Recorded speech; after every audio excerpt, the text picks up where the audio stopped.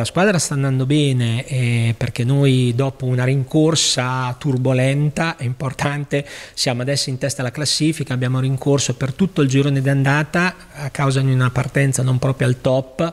e abbiamo rincorso, dicevo, l'acqua e sapone, l'abbiamo scavalcato e quindi adesso noi siamo primi a tre partite dal termine del girone di ritorno. E poi adesso inizia la, la parte più bella, diciamo quello che è le Final Eight di Coppa Italia che si svolgeranno a Rimini allo, al Palazzetto dello Sport, lo Stadium 105, e i playoff che sono il momento più affascinante e più emozionante di tutta la stagione.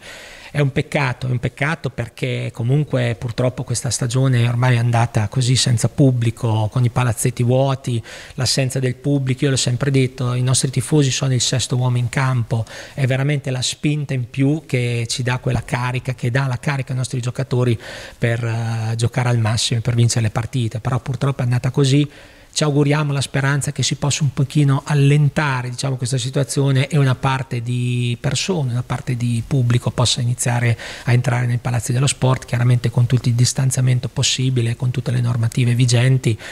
come è stato anche un po' dall'interno affrontare una stagione dove a volte non sai se giocherai quella partita, giocatori che potrebbero essere positivi, quindi anche da un punto di vista non solo fisico ma anche mentale penso molto stressante, oltre comunque a far diventare magari la stagione un po' più complicata, comunque abbiamo visto tante partite da recuperare, una classifica che a volte non era mai quella veritiera. Molto difficile, hai detto bene tu, è stato molto complicato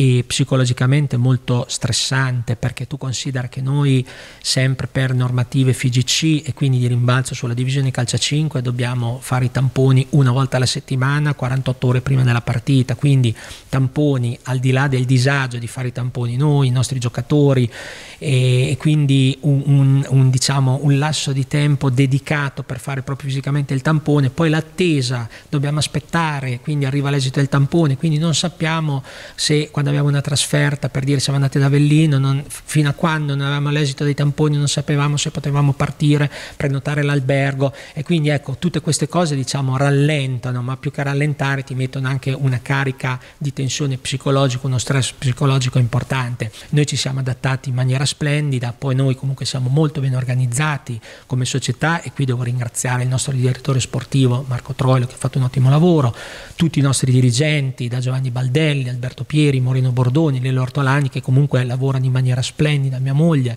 Simona che comunque lavorano, seguono in maniera eccellente tutto, tutto l'iter burocratico e quindi quest'anno si è aggiunto anche un tassello in più, l'iter sanitario. L'abbiamo fatto, ci siamo riusciti e comunque è stato un dispendio di energia grosso.